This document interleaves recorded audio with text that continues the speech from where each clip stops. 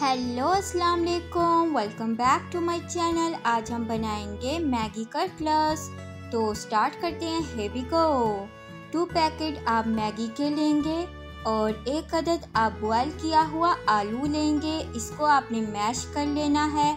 और आप सबसे रिक्वेस्ट है कि मेरे चैनल को सब्सक्राइब कर दें। और टू टेबल स्पून आप इसमें गाजर ऐड कर देंगे, चॉप की हुई।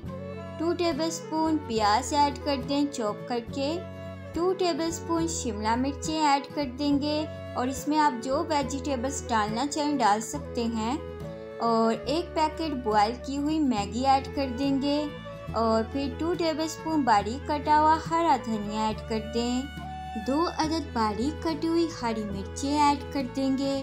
वन टीस्पून नमक ऐड कर दें। वन टीस्पून कुटी हुई लाल मिर्च ऐड कर देंगे। वन टीस्पून आप इसमें ज़ीरे का पाउडर ऐड कर दें। One teaspoon chaat masala. एक पैकेट मैगी मसाला ऐड कर देंगे। और वन टेबलस्पून आप इसमें मैदा ऐड कर दें। और फिर इन सब चीज़ों को आपने मिक्स कर लेना है। और आप सबसे रिक्वेस्ट है कि मेरे चैनल को सब्सक्राइब कर दें और बेल आइकॉन पर क्लिक कर दें ताकि आपको सारी वीडियो टाइम से मिल सकें। और फिर हम इसके कटलस बनाएँगे। तो आपने छोटा सा पहले बोल बना लेना है और बोल बनाने के बाद आप इसको प्रेस करेंगे। तो ये राउंड शेप में हम कटलस बना रहे हैं। आप किसी भी शेप में कटलस बनाकर रख सकते हैं। इसको आप स्टोर भी कर सकते हैं। और अब हम सारे बना लेंगे। टू टेबल स्पून आप मैदा ऐड कर दें। और फिर हम इसमें सिक्स से सेवन टेबल स्पून पानी ऐड करेंगे और इसको हमने मिक्स कर लेना है। फिर आपने इसको पतला सा इसका घोल तैयार कर लेना है। कटलस को आपने डिप कर लेना है और एक पतली सी लेयर लगा लेंगे।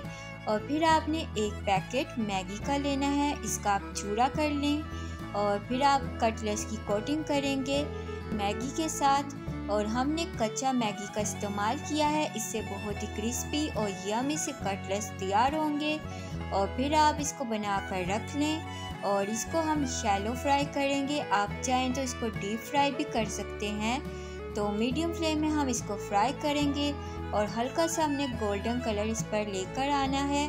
और बहुत ही यमी क्रिस्पी बनते हैं ये कटलेट्स आप लोग इस रेसिपी को रमज़ान में भी बना सकते हैं और बच्चों को बनाकर लंच बॉक्स में भी दे सकते हैं। बहुत ही ज़बरदस्त से ये कटलेट्स तैयार होंगे। तो आप इस रेसिपी को देखें इंजॉय करें और अपने दोस्तों के साथ भी शेयर करें। ज़बरदस्त से कटलेट्स तैयार हो गए हैं तो आप लोग इस रेसिपी को ज़रूर ट्राई करें। अगर आपको ये रेसिपी पसंद आई है तो अपने दोस्तों के साथ भी शेयर कर दें।